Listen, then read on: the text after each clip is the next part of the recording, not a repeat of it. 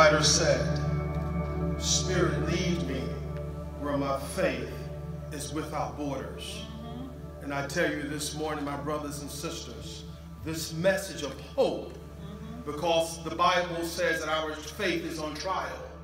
For the trying of your faith is going to work patience. But let patience have its perfect work, that you may be complete and lacking nothing.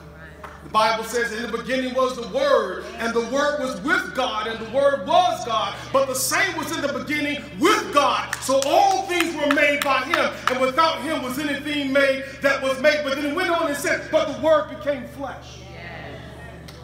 And flesh dwelt among us, and we beheld His glory, the glory of the only begotten Son of the Father, full of grace and truth. So in order to walk on water, you must stand.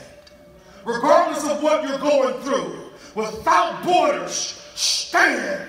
But when you stand, you must see Jesus. And the only way you will walk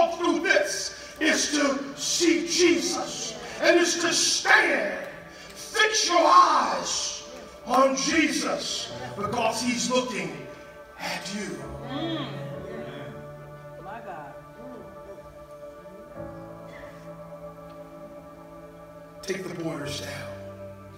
Yes. and walk.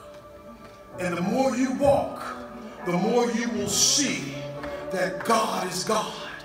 He has never left you, nor he's ever forsaken you.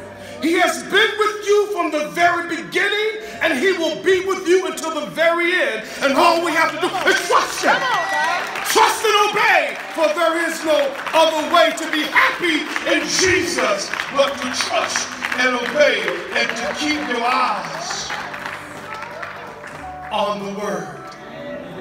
To God be the glory for great things he will do in your life.